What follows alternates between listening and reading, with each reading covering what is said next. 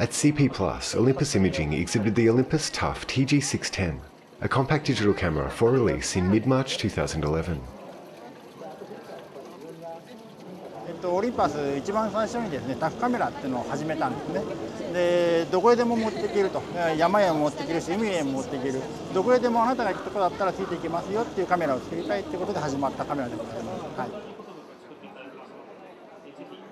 The TG610 is waterproof to a depth of 5 meters, sand and dust resistant, can be dropped from a height of 1.5 meters, and functions at minus 10 degrees Celsius. In addition to this, it features a 14 megapixel CCD and a wide-angle 28mm lens with 5 times optical zoom. This camera also has dual IS camera shake prevention and the TruePic 3 image processing engine.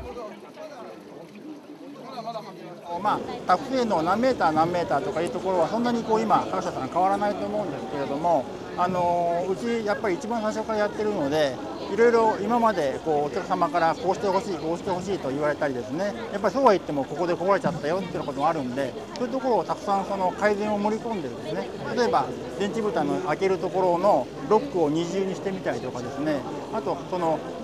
やっぱりバリアも欲しいと。バリアがないと指で触っちゃうとかいうことでバリアをつけたりというようなことで細かい改善をいろいろしているのがうちのタフでございます。The TG610 also makes it easy to take HD videos as well as 3D photos.